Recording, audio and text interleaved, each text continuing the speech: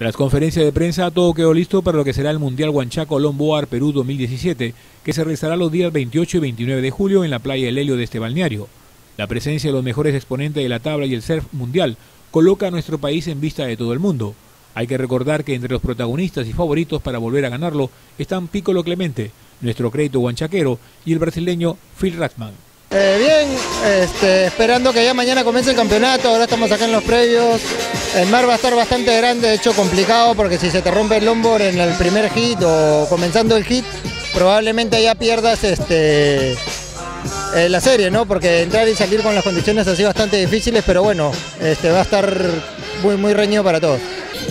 Ah, eu penso que a cabeça está sempre nova, o físico também, estamos sempre treinando para estar melhores. Eh, eu penso que estar junto com Piccolo Clemente, que é uma referência acá em Peru, eh, toda a América do Sul e todo mundo, nós juntos podemos sempre cambiar informações e passar para a nova geração o que estamos aprendendo sempre eh, para trazer futuros campeões mundiais para a América do Sul. El evento es organizado por Ola Norte y reconocido como uno de los torneos que sirve también para la aparición de nuevos valores del surf nacional y la llegada de los mejores surfistas de otros países que tienen la oportunidad de mostrarse al mundo entero.